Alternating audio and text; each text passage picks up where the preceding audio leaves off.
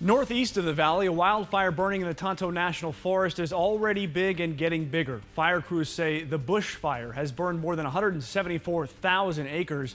Now, to put that in perspective, that fire is twice as large as the entire city of Mesa. Firefighters on the ground and in the sky are working to gain control of the fire. So far, it is only 7% contained. More than 600 homes are threatened by this fire, but no structures have been lost yet. Several evacuation orders are currently in place. However, officials with the Arizona State Forestry tell us some evacuation notices will be lifted tomorrow morning.